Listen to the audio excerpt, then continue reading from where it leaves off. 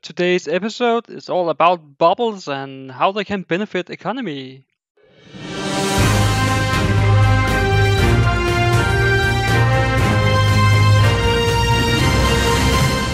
Crypto Media Service, bringing you in-depth thoughts on cryptocurrencies.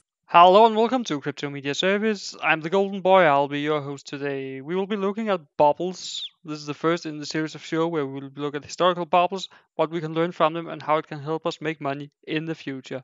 So, tag along and let's start with the tulip bubble. But what was the tulip bubble, or what is better known as tulip mania? Well, it's actually a little long story, but let's boil it down to something concrete we can keep our minds on. The tulip mania came apart because of Dutch traders back in the 1500 beginning to sail to foreign seas importing exotic goods. One such good was the tulip. The tulip started its journey to Amsterdam from Turkey, where a sultan sent a bulb and seed to Vienna. Shortly after, in 1554, the seeds were sent to Amsterdam, and it is where they begin their rise to popularity. This rise to popularity led to a university study in 1593 where it was concluded that the tulip could be grown in the harsh northern European climate. And from there, the popularity grew immensely, also outside of the Netherlands regions. From there, in the Dutch region, they began to grow tulips. And the market became a little sophisticated because they began to experiment with the tulips and found out it could be grown in multiple colors and even have multiple colors on the same flower. So solid color flowers were one price, multicolored flowers were another price. This sophisticated market led to people beginning to speculate in tulips, buying them for higher and higher prices, and with the hope of selling them on for even higher prices. At one point, the price of a tulip were twice the annual salary of a craftsman, which you can compare to an middle class worker today. We saw the same tendencies in cryptocurrency back in 2017 as prices were rising more and more. People purchased cryptocurrencies for higher and higher amount of money in the hope of selling them on for even higher amounts of fiat currencies, hoping to make a great big profit and becoming a millionaire, just as so many others have done. As the price were rising in cryptocurrency, we saw the price coming up to a level compared to an average Danish salary of three, maybe even four months for an average middle class one person income before taxes. And we have the highest tax pressure in Denmark, so it were quite expensive at some point for something like Bitcoin.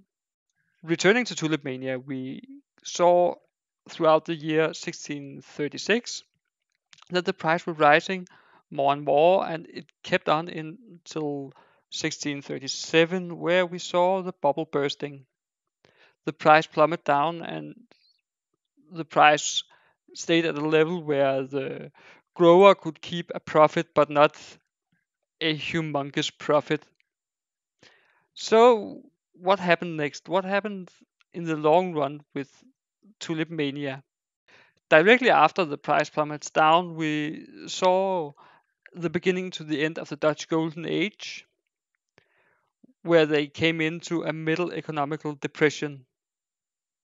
Even though the bubble started the end of the Dutch Golden Age, well, it had to stop at one point. So today you will know tulips because they're Dutch. Most people would know that something is Dutch when it has tulips on it.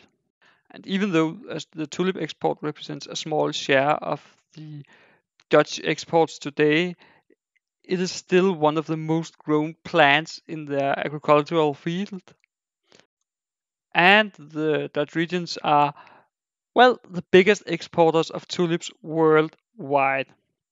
No one can compare to them, and looking over the beautiful tulip fields, well, it gives you a sense of calm and is visited by many tourists. So, besides being a great eh, product for export, it is also a tourist magnet for the Dutch region, thereby attracting more income. So you could say that the price will never rise to being more than an annual salary again, but it still have economical benefits for the country, and that comes in form of tourists and exports. But it also comes in the form of job creation, innovation, and so on, because new ways of farming tulips are always being invented in the Netherlands. Can we compare this to cryptocurrency? Yes, we can. Because, well, even though the cryptocurrency has been through sort of a mini bubble, I would say, I don't think it will stay down in the price we see right now. But even if it does, we might see that in the long run it will gain a popularity, keeping the price down, seeing the rise of new and smarter ways of doing cryptocurrencies, and so on.